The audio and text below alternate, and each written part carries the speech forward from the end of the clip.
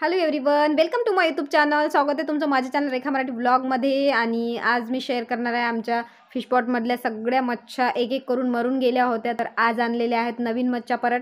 तर आता फिशपॉटमध्ये आम्ही टाकणार आहोत. तर हे बघा छोटे असे पिल्लू आणलेले आहेत. खूप छान. ऑरेंज आहे ग्रीन आहे. आणि एक छोटासा बेबी आहे पिंक कलरचा आता पॉलिथिनमध्ये आणलेला आहे विकत. आणि आता आम्ही त्याला फिशपॉटमध्ये टाकणार आहे. छोटंसं फिशपॉट आहे आमच्याकडे. तर आत्ता फिशपॉटमध्ये पाणी टाकून देत आहे आणि पाणी बोरिंगचं हवं असतं किंवा हापशीचं वगैरे असतं ना हँडपंपचं ते पाणी पाहिजे असतं.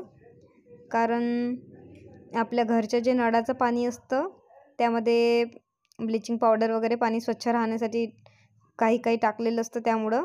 त्यांना त्या पाण्याची गरज नसते. त्यांना क्षारयुक्त जे श पाण्यामध्ये क्षार वगैरे राहतात ते पाणी जसं बोरिंगचं झालं हँडपंपचं तर हे पाणी बोरिंगचं आहे.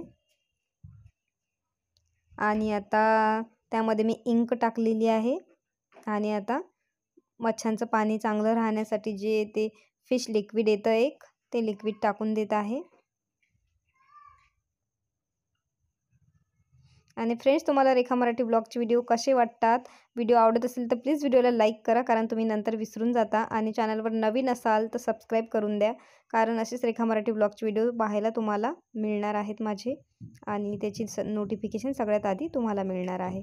तर आता फिशपॉटमध्ये पाणी टाकून झालेलं आहे आणि लिक्विडसुद्धा टाकलेलं आहे मी आता. मच्छा सोडलेल्या आहेत अशा फिश तर एक फिश आहे ऑरेंज कलरची एक ग्रीन आहे आणि छोट छोटंसं पिल्लू आहे फिशचं. छोटीशी फिश आहे पिंक कलरची. आणि हे त्यावर ठेवायला. तर आता सध्या त्या खालीच आहेत. आता एक एक करून असं हळूहळू वर येत आहेत त्या. तर अशा प्रकारे फिशपॉटमध्ये आम्ही टाकलेले आहेत फिश. आणि कसा वाटला आजचा व्लॉग नक्की कळवा. व्हिडिओ आवडल्यास व्हिडिओला लाईक करा. भेटूया नेक्स्ट व्हिडिओमध्ये. Bye friends.